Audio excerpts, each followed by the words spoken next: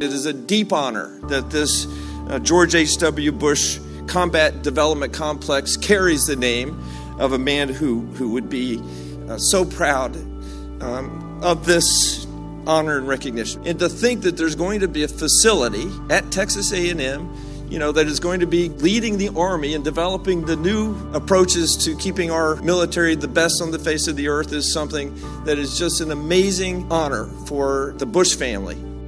We were literally born as a land grant university to serve the military of the United States of America. The systems that are going to be here are going to be groundbreaking and game changing for the military of the United States of America and the defense of this country, and we are so proud that General Murray and Undersecretary McPherson and the people in the Army Research Lab have chosen us as the proving ground for these particular things. It is a privilege to be here to honor one of America's greatest leaders and mark a major milestone in the partnership we have here with Texas A&M as we modernize our army.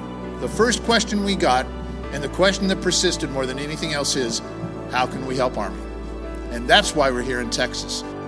This is a commitment. It's a commitment by the state of Texas you've heard about. It's a commitment by Texas A&M and the Texas A&M uh, University system, and it's a commitment by the U.S. Army. And it's, it's really all about what we believe in Army Futures Command, that America's tomorrow is worth protecting, and it's worth starting that today, right here, right now.